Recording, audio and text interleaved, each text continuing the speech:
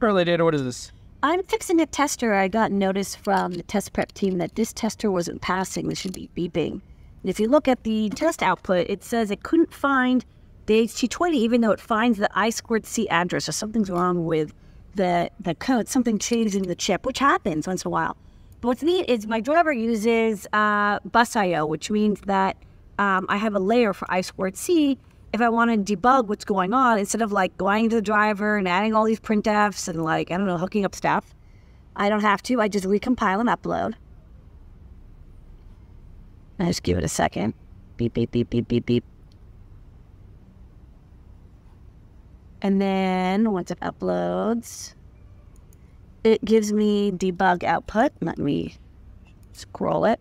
So on the serial port, it'll now tell me where it failed to send. So there's a new, there's a calibrate command that is, um, if you look to the right here, it doesn't succeed in sending this I squared C command. So this is kind of a secret command. Something must have changed in it. Um, so I'll probably just comment it out for now so you can pass test and update the library and look at the documentation to see what's different. This happens with uh, sensors that don't have amazing documentation.